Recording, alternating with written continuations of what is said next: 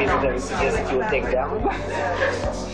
Well, you know, if you look hard enough, I'm sure that there is something that we're trying to hide. Yeah, I have some ideas.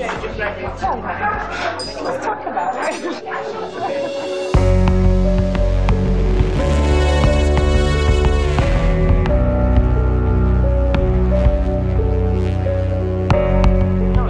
You know we can be the one who's gonna the question. Yeah, it's good to remind me. The deputy foreign minister. I think we've been looking at the entire issue of Israel and Palestine from the wrong end of the telescope. we still want to know that. Yeah. No, he's doing a lot of programs. I thought we had, Sounds like a you know, neutralized conspiracy. a little bit, no? Uh, no, no. Ah.